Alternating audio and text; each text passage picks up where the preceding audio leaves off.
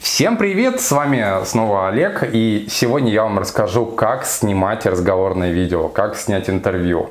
Буквально вчера я впервые ездил и снимал, ну, что-то типа интервью, но, в общем, тоже снимал разговорное видео, и а, в общем-то, было немало интересных моментов, которые я для себя отметил, потому что, ну, это была первая какая-то съемка, которую я делал типа на выезде.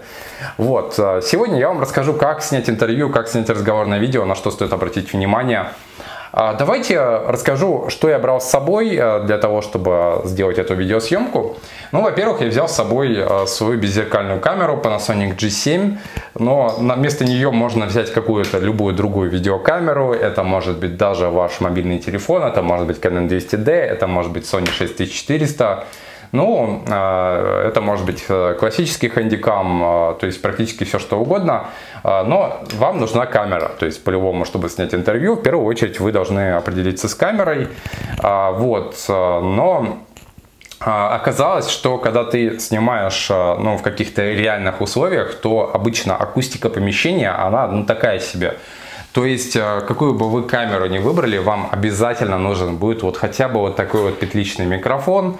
А, это может быть, например, Boya by M1, это может быть аудиотехника от RT350. А, ссылку поставлю в описании, ну, по крайней мере, на один из этих микрофонов. А, он цепляется на разговаривающего вот куда-нибудь или сбоку, или вот где-нибудь вот здесь вот. И это вам даст то, что у вас будет нормальный звук без эха и вам не нужно будет потом на этом а, видеоролике что-то дополнительно убирать, какой-то звук очистить или как-то вытягивать этот звук. То есть а, для именно цели YouTube хороший звук это гарантия того, что ну, вас будут слушать. То есть а, часто люди даже не смотрят видео, они его включают и слушают. То есть если будет плохой звук, то вас не смотреть, не слушать не будут, соответственно. Вот, это может быть какой-то другой микрофон, но суть в том, что вот э, обычная петличка за одну-две тысячи рублей вам э, поднимет качество вашего видео просто ну, в космос. То есть вот это первое, что я для себя отметил, потому что когда я снимал, допустим, видеоблоги дома без микрофона, то звук получался удовлетворительным, потому что здесь акустика, ну, может не самая лучшая, но пойдет, короче. А когда я оказался в кабинете врача, которого я снимал вчера, да, оказалось, что там ну, мебели нету, то есть звук не поглощается, и эхо такое, будь здоров, как будто из колодца. И, соответственно, получилось, что очень хорошо, что я взял этот петличный микрофон. Следующий совет, который э, можно сюда добавить, это прежде чем делать саму видеозапись, пожалуйста, вставьте микрофон, сделайте пробную запись, послушайте, идет звук или не идет с этого микрофона. То есть не забудьте включить переключатель, если вдруг э, у вас такой переключатель есть на вашем микрофоне. Э, потому что мы вчера снимали-снимали, а потом уже я удосужился проверить, то есть не забыл я, ли я включить переключатель.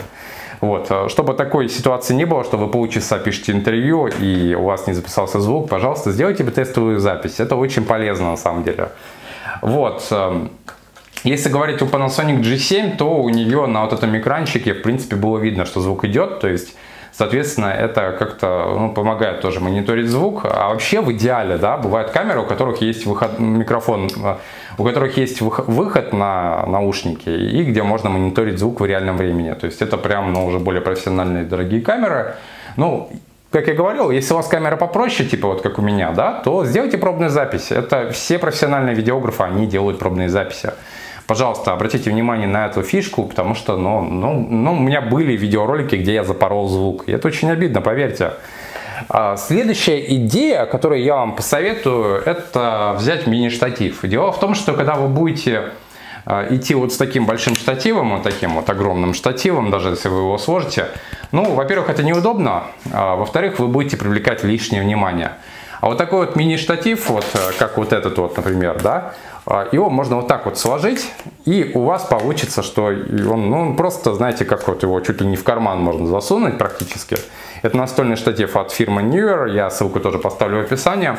Вот, вот он, вот он примерно вот так вот выглядит, то есть его можно вот так вот сложить и вот, знаете, вот так вот подмышку несешь, вот, и тебя никто не увидит.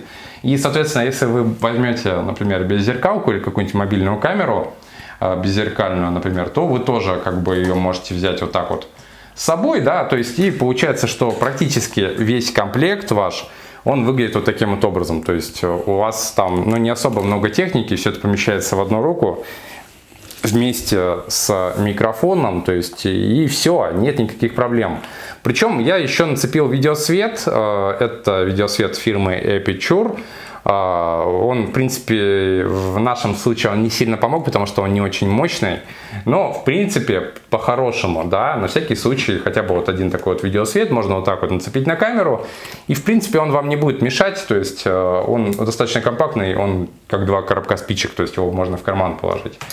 То есть э, вот, это комплект, которого достаточно, чтобы снимать разговорные ролики. То есть э, вы можете по своему усмотрению взять более дешевый штатив, более дешевую камеру или, может быть, более дорогую камеру. А, вот, но обязательно, конечно, желательно настольный штатив хотя бы, а, желательно, очень желательно, прям обязательно, я бы даже сказал, а, микрофон петличный, допустим, Boya BM1, 6-метровый провод, его достаточно для большинства задач каких-то. А еще хочу вам посоветовать э, такую фишку, такую идею, которую я вчера применял на практике. Э, параллельно снимая на камеру, попробуйте снимать параллельно на ваш телефон, потому что тогда вы сможете сделать двухкамерный монтаж. И кроме того, вы сможете э, получается, у вас получится сделать дубль. То есть, допустим, если видео по каким-то причинам запорится на камере, у вас будет хотя бы видео со смартфона. Да, она по качеству чуть-чуть похуже, да, будет похуже звук, но сюда тоже можно, кстати, микрофон нацепить.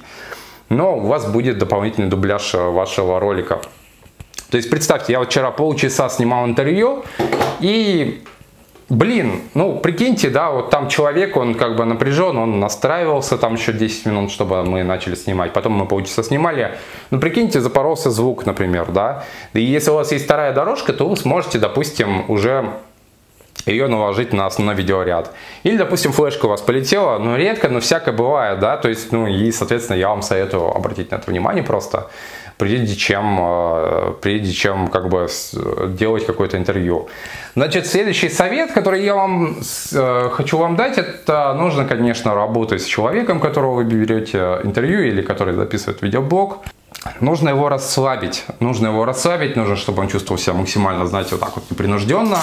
Нужно, чтобы он немножко разговорился. Нужно, прежде чем начать писать видео, нужно немножко с ним пообщаться. Может быть, одну тестовую э, запись на 2-3 минуты запустить. И э, Человек немножко должен размять свой речевой аппарат, я такой совет тоже где-то слышал, и по своему опыту знаю, почему-то вот когда ты вот просто ставишь камеру, штатив, свет, все вот это вот, ты начинаешь снимать видео, почему-то первые там несколько минут, они какие-то несуразные получаются, то есть нужно немножко разогнаться, то есть вот когда человек уже поймает какой-то кураж, то там уже все идет легко и гладко. Значит, если будут какие-то шероховатости, вы это просто без проблем вырезаете на видеомонтаже и все, не нужно особо заморачиваться.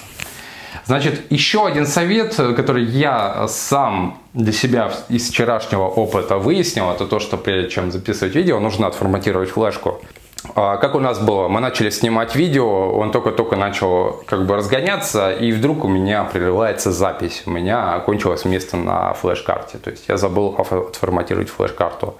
Ну и лучше дома заранее это сделать, потому что я вот давно не работал с Panasonic, и я искал, где там форматирование флешки, где оно там запрятано в меню. Ну, мне это не очень как бы по душе было. То есть э, вот такой вот тоже небольшой лайфхак, небольшой совет, который очень вам поможет при съемке какого-то видео для какого-то видеоблога, документалочки или еще что-нибудь в этом духе.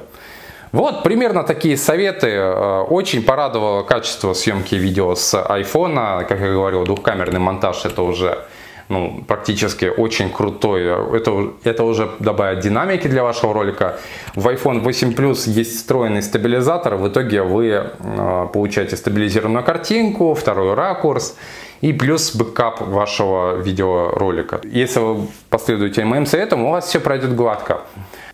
Хочу сказать, что когда ты снимаешь а, видео а, в постановочных условиях, когда у тебя есть свет, когда ты можешь, допустим, написать спокойно сценарий, можешь переснять несколько дублей, то это одно. А когда ты снимаешь с каких-то других условиях, в рабочих условиях, это немножко другое, это немножко более стрессово, потому что, допустим, в данном случае это был кабинет врача, там постоянно ходили медсестры, они и меня, и доктора отвлекали от видеоролика.